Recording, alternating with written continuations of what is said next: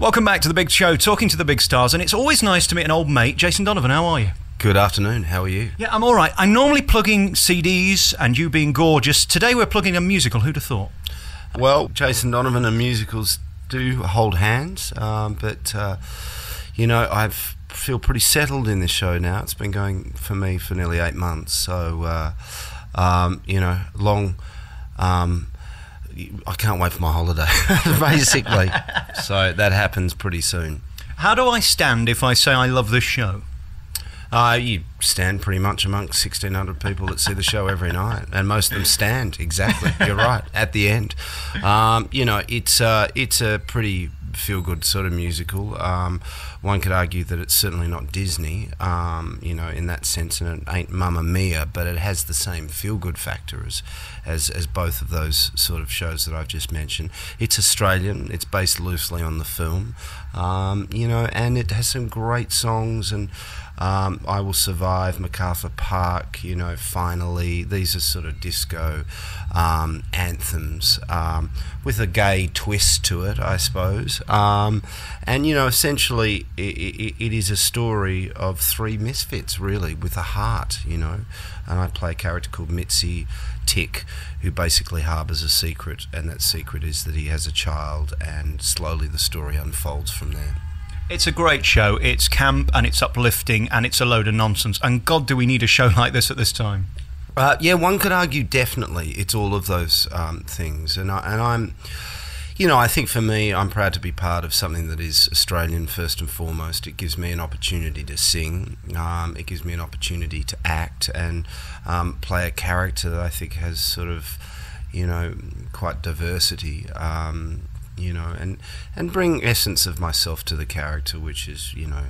Um, someone that you want to love as well. Um, you know, hopefully people want to love me. Um, but I, I think uh, my wife certainly does, and my children do. Um, so you know, I'm, I'm, uh, you know, I, I'm, I'm thrilled to be part of a great Australian product, and and you know, for me personally, um, there's very few times in your life you get to open a show. Um, Joseph really was the last show that I opened in the West End, um, and that story has been told and that history has been told. Well, let's hope that Priscilla has the same sort of um, legs, and if not the same legs, at least a different loincloth uh, and possibly a few more wigs and a bit of glitter. You know all about radio now because you've got your own radio show and you're good at this interviewing stuff. And I'm going to make a mistake now because I'm going to be negative. And you shouldn't really this early on because you could walk out. I, I, didn't really like you in this, nor Joseph, because I just end up feeling inadequate. And I know the lady I'm with is going to look at you, then look at me, and suddenly I'm not enough, not enough man. Are you talking about your own personal. Um uh, self worth. Yeah, I mean, you don't wear a lot in either of those shows, Joseph right. or this, and, and they're looking at you with all the right bits in the right places, right. and there I am dangling like stalactites. Yeah, well, thank you. It's a sort of a back. No, I don't mean it as a compliment. yeah. No, I really don't. well, I'm, I'm, confused about where this is going, um, but I can only say to you, I'm sorry. I, I don't see myself as anyone special. Um, you know, I, I still have the same concerns and worries when I go on stage each night. Um, what I do is a profession that I love. Yes, I keep myself fit. I look after myself. You know, I, I eat the right foods. Um, I'm, I'm playing a sport at the moment, and I'm playing at the top level of the sport. You know, and I have to maintain a certain amount of fitness to be able to deliver what you're saying, which is, um, you know, things that sort of turn people on. I suppose. Yeah, they're going to um, give me the role, are they? Uh, well, I don't know. It depends on whether you can act and sing, but I'm sure there's some auditions up for various roles at, at, at uh, coming up at the moment. But uh, look, this show is for everybody. Um, you know, one could argue it's probably not for the little kids, but um, certainly, you know, I think. Um, it crosses a lot of audience boundaries. And, you know, I think we're probably, God, we're about 250 shows in and we've had a standing ovation every night. So, you know, I'm proud of it. Colour My World. I just think it's so brilliantly done in this. It's camp and over the top, but it's got real heart like most of the story. Yeah, Colour My World is written by a guy called Tony Hatch. Uh, you might know who Tony Hatch is. Uh, he wrote the theme tune for Neighbours uh, and managed to slip one in whilst I wasn't looking into this show. So to speak. Yeah, I mean, th- this show, this, this musical is a concoction of uh, concoction Maybe that's the word. Don't know. Never thought about it. Was that much. Freudian concoction? Uh, maybe concoction, concoction, concoction. I'll, I'll, excuse myself. I'm Australian. I can get away with it. Um, the show it marriages many different tunes, and unfortunately, um, because ABBA has such a wonderful, successful musical down the road, we don't. Uh, we're not allowed to. Um, dive into their back catalogue, but uh, there are songs like, um, as I say, finally, I Will Survive, and this one, Colour My World.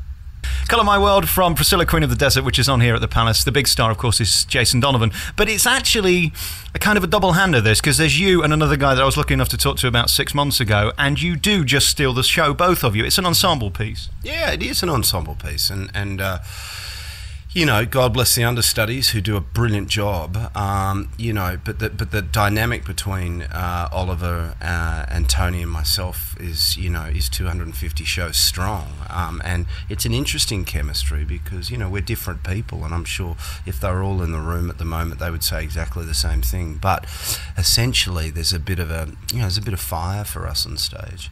Um, eight shows a week is tough though. You know, I, I, I can honestly say to you, uh, that pace is something that I think you can only do for a certain amount of time. And you've done it for a while now. I mean, how long are you going to be in it before you have to just take a break?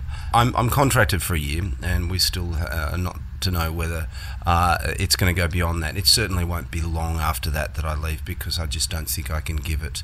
Um, at again at eight shows a week for a year, you, you, you, know you start to repeat yourself too many times, and you, you, know things go a little crazy. Notwithstanding the fact that you know I have a family at home, and and I, I always seem to be going against the traffic a lot, uh, which slightly depresses me sometimes. And all those hours you're wasting in the Mantan booth, making yourself like this gorgeous yeah, colour. Yeah, well, you know, unfortunately, we are sponsored by um, a particular um, self tanning company. Uh, so I managed to go up there quite a lot, actually. I'm sort of into that at the moment. Mm, and I hate you for it. What's this thing you're drinking? Uh, this is uh, apple, orange, ginger, um, uh, with a thing called spirulina, which has a seaweed base to it. It, it looks, looks disgusting. It looks green. Um, it actually doesn't taste that bad because you can't really taste the green spirulina stroke uh, seaweed in it. But um, I've so far managed to avoid anything that resembles um, a flu-like symptoms. Although this week, it's the only time I'm starting to feel slightly a bit clammy in the ears, and you know, a bit like mm, something's going on. You need a week in Barbados. That's what it is. I'm about a week off from going to Barbados for a week. All right, let's get back to you because I tried to get you last year for the book and they said, no, they said, you're not important enough to talk to Jason Donovan. What's wrong with me? In the pecking order of all the people you spoke to, why was I not good enough? I don't control the press and the publicity side of things. Um, all I can say to you is I try and get around this to as many people as I can because I'm one of the few artists that does believe in, in self promoting and publicity. I think it's a very important ingredient. There is no point having the most wonderful piece of art or commercial entity and not be prepared to go out there and sell it. There's there's absolutely no point to me. Um, so you know, um, I'm sorry. Again, this is twice. It's all right. We'll move on. I, am going to forgive you on both occasions. Your life is interesting and so fascinating to me as a deeply unattractive person because you've always had. You do have a complex about this. I have because when I'm in the room with someone like you, I see how ladies react as I follow you through a building, and there's kind of an aura about you that they're curious. Me, skid mark on a hotel towel. Well, I'd hate to see your underpants, but I'm sure there's more than a skid mark on those. It is a blessing, though, in life, isn't it, when you go through and people like you immediately? It's a funny question you're throwing up because that, that sort of, you know, genetically I was born with what I was born with, you know, and one could argue that there is discriminative. Um, um, things that happen if you are blonde haired and blue eyed. And there's certain elements to life which, you know, make that quite difficult, you know, particularly looking at your 20s when you're trying to be taken seriously. It's only now when I've started to recede a little and I've got a little few lines under my eyes and a bit of a beard that people actually go, you know what, we can sort of start taking him seriously. But life isn't just about the way you look it's what's inside. And we uh, and uh, I've been reminded of that very recently on a number of occasions. Um, you know, and and look, I'm I, I've been doing this business for 20, 25 years. Um, I'm still here. I'm still in business. I must be doing something right, even though I have to say I do doubt myself. You know, I'm like everyone else. You know, I have insecurities and you know days that are ups and downs, but you know what? If you ask me, I'm I'm I love my life. I have two great children. I have a great wife. Uh, I have a profession that I'm constantly learning about and you know challenges me. It, it's not. I'm not one of these people that sits there and takes the job because it's easy. I, will take the job if it's going to stress me out a little bit. And I think that's important in life because it's very easy for all of us, whatever profession, just to sit back and take the check at the end of the week. It really is. When you're at your top, mm. something clicks and you self destruct. Why do you think that is when you're at the top of your game and so talented and creative that that sometimes happens? Well, we always want to, we all want to be something we're not sometimes. And my, my, the sort of sadness of maybe my, my um, 90s um, craziness was really I was trying to be cool. And actually you know if I if I look at myself in that loincloth and a pair of white fluffy socks and wearing Joseph coat earning an extortionate amount of money in an Andrew Lloyd Webber show at the Palladium I, I don't know why I was even thinking what I was thinking at the time. But but there is a natural rebellious quality in any sort of success I think to want to to um, you know, and creativity. You know, business is a very more sort of structured thing. Creative people work in different sort of ways, and and I do see myself as creative.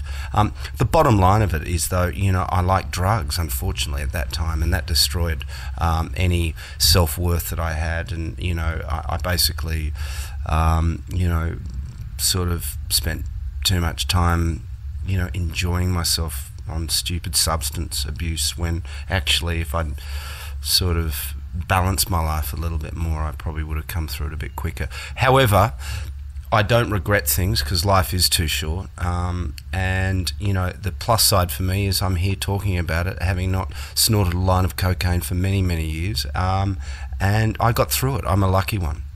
How do you think it is possible to get that line right where you're at the top of your game, you're happy and everything's perfect without overstepping it? It seems like there's something in show business that doesn't parallel the two. Well, nothing is ever perfect. And, and, and what you read in Hello magazine and Now and Heat, you know, is a glossy picture of what looks glamorous, but we all have our demons and we all have our ups and downs. And you know, you know, Robbie Williams talks about going out in Knebworth, you know, to seventy-five thousand people at the top of the game, you know, hating it, you know, because he's scared that you know paranoia sets in. So nothing is ever quite what it seems. Um, um, and no one is immune. I don't care how successful. Look what Michael Jackson, you know, those sort of scenarios. Um, I, that's pretty much the straight and tall of the answer. Um, you know, I think some people are more honest about where they're going and others aren't. I, I find honesty a far more um, a, a, a, a, much easier way to cope with life than than trying to hide. And I've got into trouble for that before, you know. Are you okay now with being judged? Because let's face it, when the curtain goes up eight times a week, I'm sat there judging you. I'm going to mm-hmm. decide immediately whether you're good enough for me to sit there for the rest of the show. How do you come to terms with that? Because there's no other business like it where your every word is being judged. The judgment is the theatre is packed that sort of says to me that things are working, um, and that's not an egotistical way. You know, something is right. You know, it's the combination of me, Tony, Oliver, the show, the production, the people behind me. You know, for every person out there doing it, there's a team of people making us look good. As long as you can sort of translate and, and deliver the goods. Um, but you know what? I, enjoy my work, and it is important that I, I get the self gratification and and to have a success like Priscilla is really nice for me because you know I've been working hard and, and not everything works you know. You know you put out a record it, it doesn't work as much as you know you million seller down the road. There's only one way when you're at the top to go down. Um, what what what is important to me is is again you know my family and you know my situation at home um, and the people that are really close around me um, but yeah, a little moment of success now and again sort of helps the, the morale, keeps the troops going a little bit. You know, makes Daddy sort of a nice guy to sort of be on holiday with rather than sort of anxious. And um, you know, I think Priscilla has has been that for me. And you know, I think I, be, I firmly believe if you keep sticking at something in your life, you know, you start to do get rewards for things after a while, and people start to take you seriously. And you know, whatever that means. Testament to your dedication is the fact you do eight shows a week. I speak to most of the stars in the West End, and they don't do eight shows. Why don't you ask to do five? I probably will. the truth be known, coming next contract, but uh, whether they want that or not, that's that's their choice. Um, yeah, I, yeah, I do do eight shows a week. Yeah, I have a massage two days a week. Um, you know, I, I'm yeah, I'm 41. I'm pretty fit. I feel that the sort of All right, don't go on about it. What is all this about your physicality? Oh well, it's the same insecurities you have when you watch me on stage. You're sitting in your chair, worrying about all your girlfriends around you, trying to take you seriously. I don't know. And how much does the masseur pay to actually get a hold of this? I pay her, uh, but she's bloody good. I want to just talk very finally about this musical, Priscilla, Queen of the Desert, which is incredibly camp, and you're playing a gay man. How do you do it so well? I mean, you're, you're very proficient at Have it. you seen it? Why would I sit here for 20 I mean, minutes I- talking to you if I haven't know- seen I didn't it? know whether you had or not, but I. I I me only people would actually come and sit with you and not see Some it. people don't. Some people don't. You know, some people, you know, would, would interview and you don't don't necessarily see it. Um, uh, the camp side of it, I was brought up by gay people all my life. You know, this business is surrounded by campness. The the true the true art of Tick and Stroke Mitzi is the balance between not being too gay, because you know everyone can mince around and you know oh you know that's easy, but it's the balance between being camp but not being over the top camp. Because remember, this character, you know, swings a little bit and has a child, you know, um, and that part of his life is very serious. So, um, yeah, that's a balance you have to try and find. I suppose the hard thing for you is you've come from Joseph, which was a stupid musical, let's face it. A good musical, but a stupid musical. And this again has moments of stupidity in it where you've got to be so uplifting. Is it easy to do Brecht and Harold Pinter every night where you can come in in a bad mood and get away with it? Um, well, I haven't done many, many straight plays, but I did a play called Festen in Australia, which is, you know, a pretty serious play. Um, I find acting a lot easier than singing. Um, you know, you, know, uh, we all act because you know. However, some of us just can't do it on stage because of a confidence factor. Um, you know, I think to sing comes from another part of the body. You, you're far more susceptible to how you're feeling emotionally, physically, mentally, um, and it's you know, i i- it's an instrument. Um, you know, and instruments are vulnerable. Um, you know, you can sort of, unless you lose your voice, you could pretty much act your way through anything, you know. So um, I actually find this more stressful, uh, yet more uh, exhilarating when it finishes and when it's completed. But you dance, you sing, you act. You know, it's the whole the whole gamut. And yes, eight shows a week is is is uh, is is a whole currency within itself. Congratulations on being you and the success here at Priscilla Queen of the Desert, which is tremendous. And good luck with the radio show and all that business. Lots going on, and the book's out as well. People can still get that. I don't really like you, but but it's nice to talk to you. Oh well, thank you. I, I don't know what to say to that. But you've never had that at the end of an interview. No. Jason Donovan, thanks so much. Okay.